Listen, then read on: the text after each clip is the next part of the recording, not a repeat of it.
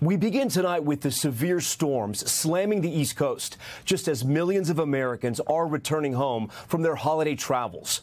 More than 60 reported tornadoes ripping across the central U.S. this weekend alone. Major damage from Texas to Arkansas to Kentucky. The death toll rising to at least 23. And tonight, we're tracking the threat as it moves east. 62 million people under severe risk from Texas all the way to New York. Severe thunderstorm watches are in effect for major cities, including Philly and New York City, and tornado watches in the mid Atlantic, including for Washington, D.C. We'll check in on travel in just a moment, but first, we start off with Priscilla Thompson in the storm zone in Texas. We're in it, we're in it. Go, go, go. Tonight, the vicious storms that battered the heartland, barreling east, drenching New York City and parts of the coast. After tearing a cross country path of destruction. Oh, it's terrible, terrible, terrible.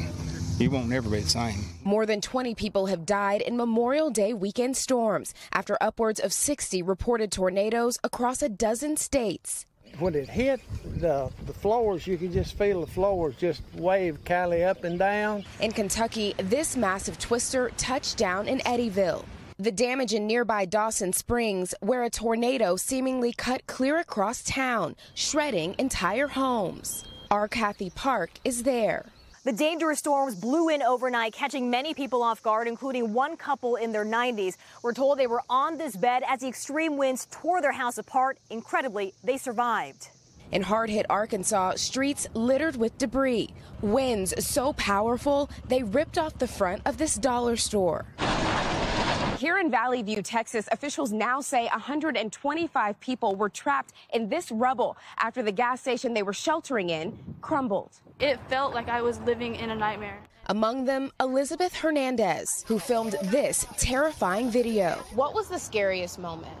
Um, when it actually hit and like we and like we could feel the wind of it. Like it felt like we were outside. I was just waiting for us to be either lifted up or something to smash on us. Less than a mile up the road monica vasquez was in a closet with her husband and five children. The youngest just three years old. What was going through your mind? I don't, I don't want to die Incredible that family survived. Priscilla joins us now from hard hit Valley View, Texas, just north of Dallas. Priscilla, a community that has lost so much and still so many injured. Yeah, Tom, so many injured. And when you see this devastation, you understand how. I am standing on the foundation of this home. That house now over there, the entire second floor gone. As across the country, communities like this one are continuing to clean up. Tom? All right, Priscilla Thompson leading us off tonight. Priscilla, thank you. And that severe weather hitting just as Memorial Day travel is shattering records. Our Priya Sridhar is at Atlanta's Hartsfield Jackson Airport, where there was a ground stop earlier today. Priya, how's it looking now?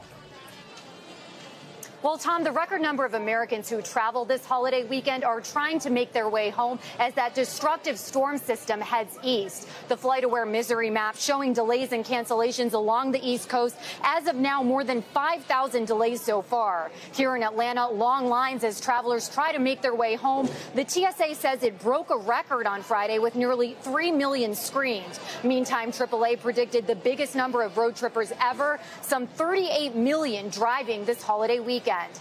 Experts say the Memorial Day numbers indicate a strong summer travel season ahead. Tom? All right, Priya, we thank you for that. Thanks for watching. Stay updated about breaking news and top stories on the NBC News app or follow us on social media.